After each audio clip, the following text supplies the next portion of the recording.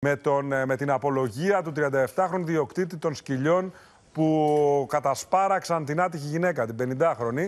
Πήγε χθες στον ανακριτή και προφυλακίστηκε, όπως καταλαβαίνουμε.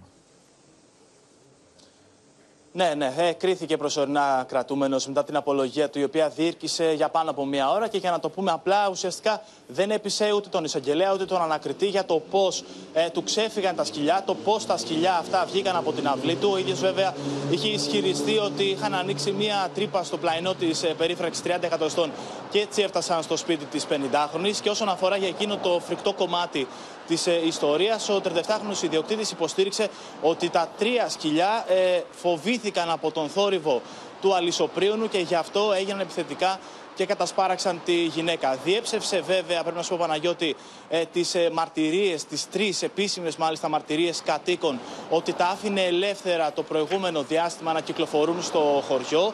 Ζήτησε βέβαια συγγνώμη από την ε, οικογένεια. Το ίδιο ε, επανέλαβε και ο δικηγόρος του Χρήστος Πατούνας, ο οποίος ε, είπε κιόλας ότι μπορεί να ζητάει συγγνώμη την οικογένεια, αλλά παρόλα αυτά δεν ευθύνεται για τον θάνατο της 50χρονη και στάθηκε ιδιαίτερα στο γεγονός για το ενδεχόμενο δόλου. Ε, επαναλάμβανε δηλαδή ότι δεν είχε σκοπό ο 37χρονο ιδιοκτήτης να σκοτώσει ουσιαστικά την 50χρονη γυναίκα και τώρα το επόμενο διάστημα περιμένουμε και τις επόμενες δικαστικές εξελίξεις. Πάντως οι καταθέσεις που δίνονται στο πλαίσιο αυτό και λένε ότι ήταν επιθετικά τα σκυλιά είναι πολύ ευαρετικό κομμάτι. Άλλωστε, ο ενδεχόμενος δόλος δεν είναι ότι θέλω να κάνω κάτι κακό. Είναι ότι ξέρω ότι μπορεί να γίνουν επιθετικά τα σκυλιά, παραδείγματος χάρη. Το αποδέχομαι ως ενδεχόμενο και δεν κάνω κάτι για το να αποτρέψω. Αυτή είναι η νομική διάσταση του θέματος.